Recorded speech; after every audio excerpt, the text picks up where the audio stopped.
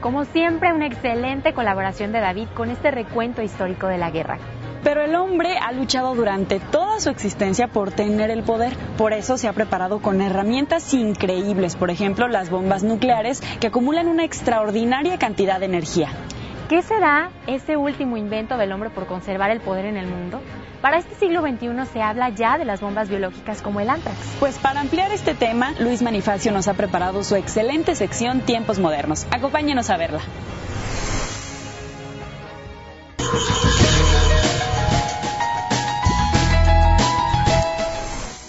Después del horror que significó el lanzamiento de las bombas atómicas en Hiroshima y Nagasaki, que acabaron con todo lo que tuvo la mala suerte de estar en su área de destrucción, y después de muchos años de Guerra Fría, donde las naciones que todavía tienen este tipo de armas juegan a conseguir el mayor número de ellas, utilizando la estrategia de la disuasión, ya que si comenzaran una guerra nuclear, desaparecería el mundo como lo conocemos.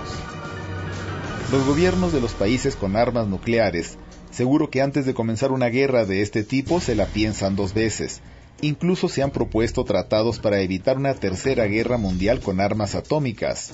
Pero, ¿han sido efectivos? Vamos a hacer un recuento de las armas nucleares que existen actualmente.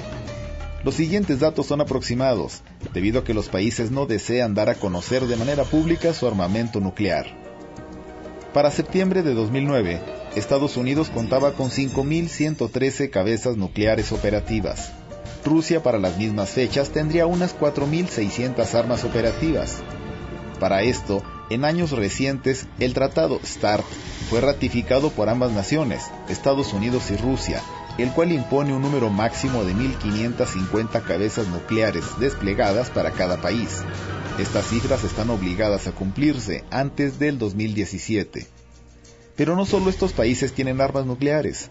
Francia tiene 300 cabezas, Reino Unido 185, China 296, Pakistán 90, India 70. Israel se estima que tiene entre 80 y 200, que oficialmente no existen.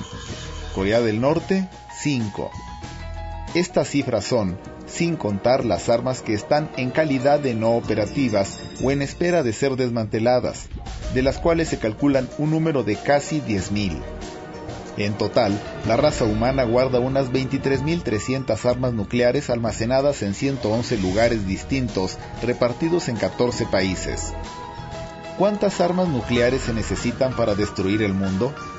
Según los optimistas, un arma nuclear destruye 14 kilómetros cuadrados al primer impacto.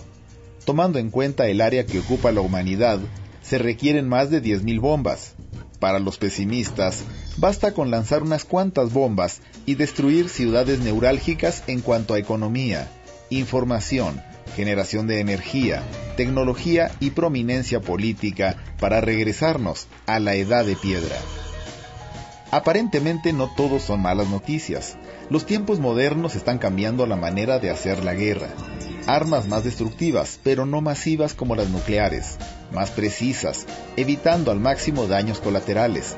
Incluso la alta tecnología está permitiendo naves no tripuladas, robots para desarmar bombas, rayos láser para destruir bombas antes de que lleguen a su blanco. Todo esto porque la guerra ya no se centra en grandes potencias, ahora es contra grupos extremistas que pelean en guerrillas y se esconden en ciudades junto a miles de civiles inocentes, los cuales utilizan como protección. Es por eso la necesidad de contar con armas más precisas, no masivas. Los habitantes del mundo sabemos de la existencia de armas con la capacidad de destruir nuestro planeta, o cuando menos de casi desaparecer a toda la humanidad. Aún así preferimos hacer como si no existieran, esperando que nadie se atreva a oprimir ese botón rojo. Bombas atómicas, armas que están preparadas para ser lanzadas en cualquier momento, mientras la humanidad está en la espera de que nunca sean utilizadas. Hay que crear conciencia en todos estos países y sus líderes para que se destruyan este tipo de armas, ya que todo lo que suene a energía atómica y a radioactividad cada día que pasa es menos popular y después de lo que pasó en Japón, ya ni siquiera para utilizarla en la generación de electricidad. Thank you.